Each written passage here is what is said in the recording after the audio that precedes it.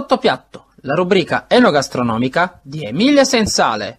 Guido Saiello, il titolare dell'Osteria Atri che si trova qui in via Atri, proprio a pochi passi dall'incrocio di via Tribunale e di via Nilo. E che dire, un imprenditore che ha voluto scommettere su questa osteria, che ha voluto scommettere su questo tipo di locale, un locale che lo ricordiamo è su due livelli, è a piano terra, permette ecco, una cucina casereccia molto buona, tendente ecco, alla cucina partenopea. Allora Guido, io voglio semplicemente chiederti com'è nata questa idea di voler scommettere qui nel centro storico, dove ci sono già tante, ma veramente tante attività, tu però hai voluto regalare qualcosa di nuovo alla cittadinanza e voglio capire come può un imprenditore, ora che si parla tanto di crisi, dire sì, ci voglio scommettere. Eh, partiamo dal fatto che io sono del quartiere. E eh, diciamo qui sto a casa mia, mm. qui a, tra, tra l'altro. E vabbè, mi è piaciuto, mi piace la ristorazione, ho provato a investire così assumendo questo locale che era un pub, ho fatto dei ritocchi, l'ho fatto diventare un'osteria. E mm, dimmi un po', eh, dal punto di vista tecnico, perché questa è comunque un'intervista radiofonica, come vogliamo descrivere l'osteria dalla parte del titolare, insomma, quali sono ecco, gli aggettivi che tu daresti, sia tecnici sia proprio di cuore per questa osteria? La sto mettendo un po' in sintonia con il quartiere, diciamo che è il centro storico, e mi piace molto eh, farlo diventare borbonico, la nostra cultura napoletana. Perché ricordiamolo, An- questo locale è pieno di stemma borbonici. Sì, sì, e anche dal fatto che qua stanno molti ancora eh, persone con i titoli, cavalieri, duca, infatti già li ho conosciuti, mi sono venuto a trovare, eh, il movimento neoborbonico, tutte queste cose che prima che aprivo il ristorante nemmeno non, non sapevo. E, e, ho visto che ho azzeccato diciamo, lo stile. Mettiamo il caso che alla radio ci sta ora in diretta un imprenditore giovane, un ragazzo, una ragazza, qualcuno mm. che vuole investire come te in un'attività come questa. Qual è il tuo consiglio? Come da, da fratello, da padre, insomma, come, cosa ti senti di dire? Eh, guarda, non lo so, eh, eh, diciamo che il fatto che, che qui ci, ci, sta una concorrenza molto forte, che già lo sapevo, però ti ritorno a dire, volendo la concorrenza sta dappertutto.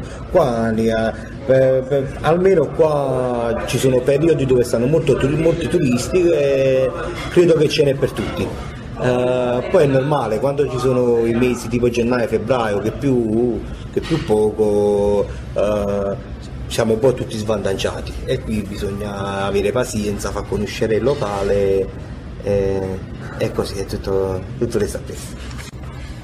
Fabio Pace, chef dell'Osteria Atri, innovatore possiamo dire perché tu hai iniziato dal basso, ora sei in alto lo possiamo dire con una tua inventiva, con una tua fantasia anche in cucina e ti rapporti anche con i clienti perché ora via radio è un po' difficile dimostrarlo però hai la cucina che proprio si affaccia alla sala eh, di giù dell'Osteria Atri qui a Napoli semplicemente voglio iniziare a chiederti come hai cominciato ad appassionarti alla cucina, a restare vicino ai fornelli. Ho cominciato come hanno incominciato tutti quanti nella, come lavapiatti. Poi vedi che ti piace il mestiere, vedi che ti piace stare in cucina, vedi che comunque è un mestiere che ti dà molte soddisfazioni. E niente, mi sono appassionato e ho iniziato a cucinare. Iniziando a cucinare, poi pian piano, facendo l'aiutante cuoco, poi facevo il cuoco in seconda, poi ho iniziato a prendere qualche cucina alla mano e oggi mi trovo qua a lavorare all'Ostriatri. Tu hai una filosofia, per te non è vero che i, i cuochi, i chef hanno un piatto che piace di più a loro da proporre ai fornelli. In realtà amano tutta la cucina e poi cercano insomma un'inventiva. Se questa è la tua filosofia, ovviamente se me la confermi. Secondo me se uno piace di lavorare e piace il suo mestiere, in automatico ti deve piacere fare tutto. Cioè anche se non sono piatti che hai fatto tu, deve essere una cosa, cioè il mestiere ti deve piacere perché è sacrificato la cucina è molto sacrificata. Parliamo di questi piatti innovativi che proponi Noi abbiamo inventato una carbonara napoletana mm. con cipolle, salame napoletano, uova, melenzane a funghetto, formaggio, pepe. Ottima. Molto buona da provare, se volete venite nostri teatri e la proverete. Non ci resta allora che parlare della carbonara, uno dei più gustosi piatti di pasta della cucina laziale.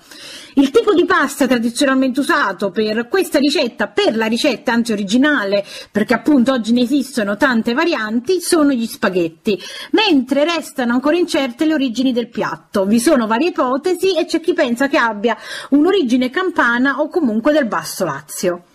Diamo allora ai nostri radioascoltatori la ricetta della carbonara classica. Ecco gli ingredienti per quattro persone. Ovviamente per i più golosi o per accontentare più palati basta moltiplicare gli ingredienti. Servono per quattro persone 400 g di spaghetti, 150 g di guanciale, 4 uova, 100 g di pecorino romano grattugiato, un cucchiaino di olio d'oliva extravergine, sale quanto basta e pepe nero per, eh, da mettere insomma alla fine della preparazione.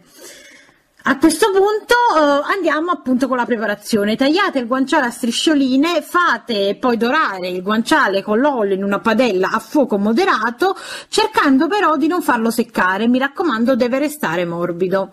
Cuocete gli spaghetti in abbondante acqua salata e nel frattempo sbattete le uova con il formaggio in una ciotola adatta a contenere poi la pasta una volta che sarà cotta.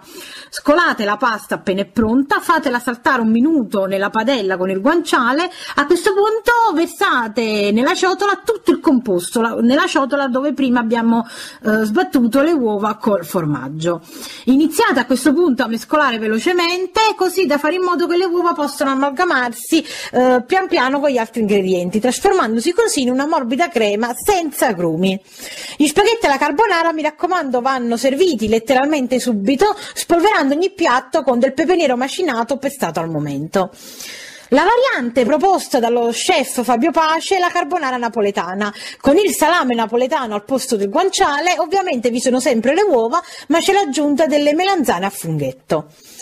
A me non resta che augurarvi buon appetito e invitarvi al nuovo appuntamento con la rubrica Sottopiatto qui su Radio No Frontiere Napoli.